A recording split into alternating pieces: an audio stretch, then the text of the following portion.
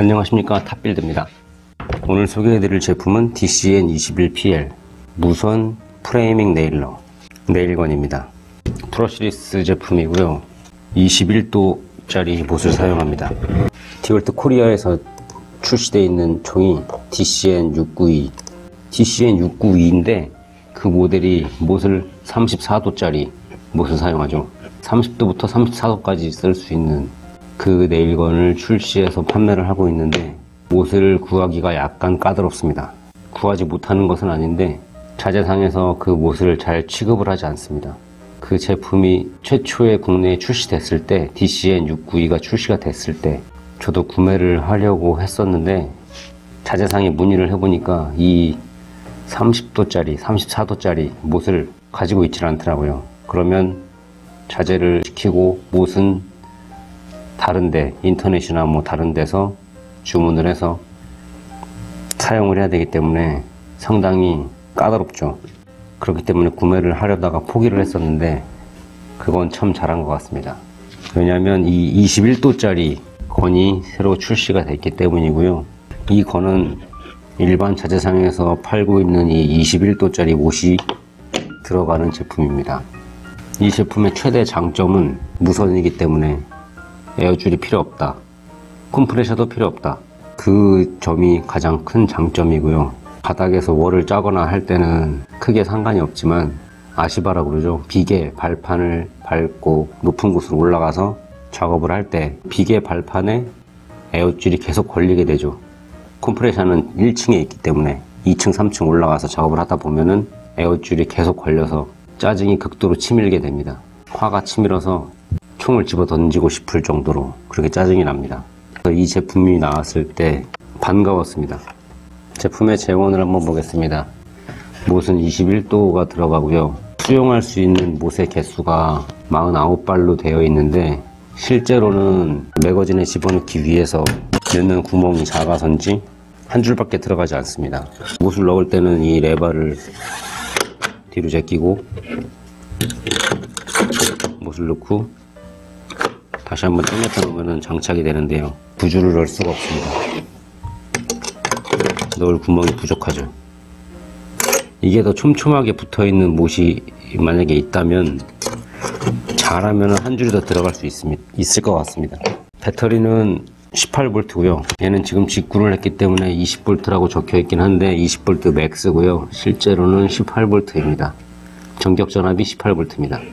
제가 주로 사용하는 네일건이 DW325PL 이것과 보스티치에서 나온 LPF21PL 얘랑 거의 모든 것이 동일합니다.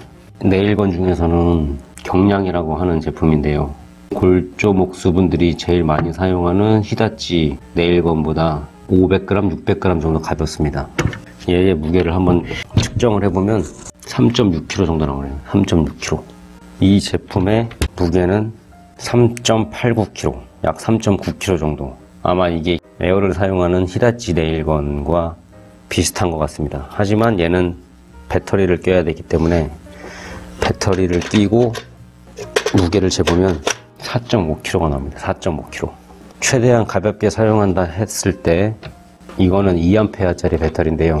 2A짜리 배터리를 끼우고 무게를 달아도 약 4.3kg 200g 정도 빠집니다. 보통 5A짜리를 끼우고 사용을 하기 때문에 이 제품에 비하면 얘는 약 1kg 정도 더 무겁습니다.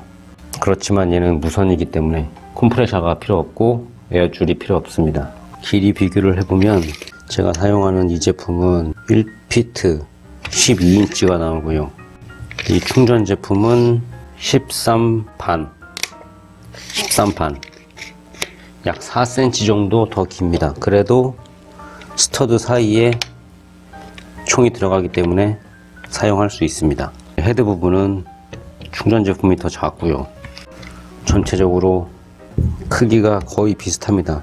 약간 긴 거 말고는 총알은 한 줄이 들어가기 때문에 더 짧습니다. 골조할 때 계속 사용은 못하겠지만 높은 곳에 올라가서 발판 위에서 작업을 한다. 에어줄이 걸리지 않고 원활하게 작업을 할 수 있습니다. 못은 2인치부터 3과 4분의 1인치까지 약 50mm에서 83mm까지 사용을 할 수 있고요. 뭐 사용 방법은 크게 다르지 않습니다. 다른 네일건과 비슷합니다. 레버 당겨서 못을 넣고 다시 당겼다 놓으면 되고요. 여기 보시면 깊이를 조정하는 다이얼이 달려 있습니다. 여기 있는 버튼은 눌러주면 얘가 작동을 하지 않습니다. 안전장치죠. 이걸 풀러줘야 레버가 눌리게 됩니다. 여기 보시면 레버가 하나 달려 있는데요. 요거는 안에서 재미 발생했을 때, 못이 걸렸을 때, 이 내부에서 못이 걸렸을 때 이걸 쳐주면 못이 제거가 된다고 하는데 아직 못이 걸린 적이 없기 때문에 이거는 사용을 해보진 않았습니다. 그리고 여기 회전이 되는 후크가 달려 있고요. 회전이 되는 후크가 달려 있고 여기에 버튼이 두 개 있습니다. 2와 1이 있는데 요거는 못의 길이에 따라서 조절하는 레버입니다. 이 버튼은 단발, 연발을 조정하는 버튼입니다.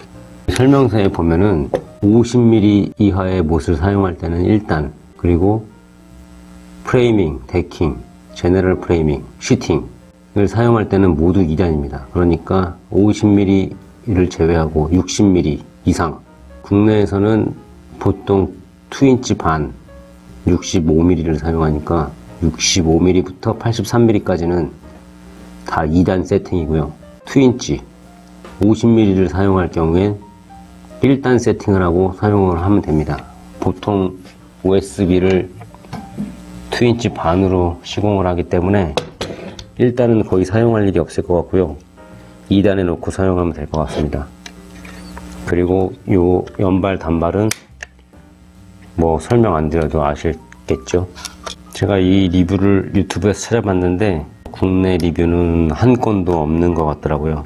그래서 아마 최초로 제가 리뷰하는 것이 아닐까. 이 제품의 장점이 또 하나 있습니다. 에어를 사용하지 않기 때문에 여기 에어 배출구에 구멍이 없습니다. 다 막혀 있습니다. 보통 바닥에서 쏠 때 바닥에 있는 먼지가 날리는 경우가 있는데 먼지가 날릴 일이 없습니다. 이 제품의 단점은 무게 하나입니다. 무게 하나를 제외하고는 단점이 없습니다. 제 기준에 그렇습니다. 실제로 디월트 웹사이트, 미국 웹사이트에 가서 리뷰를 보면 추천율이 100%입니다. 한 리뷰를 보면은 15년 이상 건설 일을 해왔던 사람이 올린 리뷰가 있는데 이 nail gun을 사용하기 전에 배터리로 얼마나 못을 박을 수 있겠나 에어만큼의 힘이 나올 것인가 이런 의구심을 가지고 있었다고 합니다. 그러나 이거를 써- 써보고 나서 매우 강력하고 정확하다. 에어 호스와 컴프레셔를 끌고 다닐 일도 없고 컴프레셔의 소음도 없다. 아주 훌륭한 제품이라고 그런 리뷰가 있습니다. 저도 이 무게가 무거운 것을 제외하면은 동일한 생각을 하고 있고요. 이거를 하루 종일 사용할 수는 없겠지만 높은 데 올라가서 아니면 뭐 이쪽에서 일을 하고 있는데 뭐 몇십 미터 떨어진 데 가서 못을 몇 방 박아야 된다. 뭐 한두 방 같은 경우 몇 발 되지 않으면 망치로 때려 박으면 되겠지만 그거보단 좀 많다. 그럴 경우에는 에어 호수 풀르고 다시 감고 아니면 콤프레셔를 끌고 가고 그럴 필요가 없이 요거 하나만 간단하게 들고 가서 시공을 할 수 있기 때문에 그 점이 가장 큰 장점이다. 그렇게 말씀드릴 수 있겠습니다. 제품 설명은 이렇게 간단하게 마치고요. 작동 영상을 보시겠습니다.